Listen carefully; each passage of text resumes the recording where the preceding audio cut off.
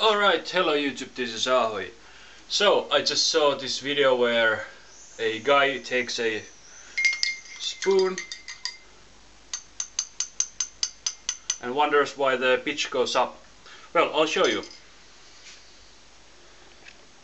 So I have a... He most likely used coffee, but I'll just use water so it's easier to see. So first he just spins it around and when you change the position of the spoon the pitch changes. So it's really nothing special. So I hope that clears the confusion. Thank you for watching and make good music